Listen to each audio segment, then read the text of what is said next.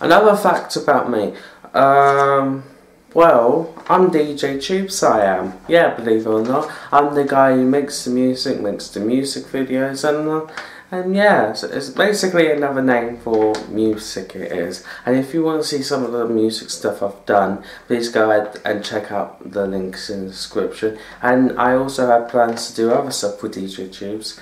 And yeah, oh, and I make the tracks with Music Maker Jam. I'm also trying to find another software that feels better and feels a bit more like GarageBand. So yeah.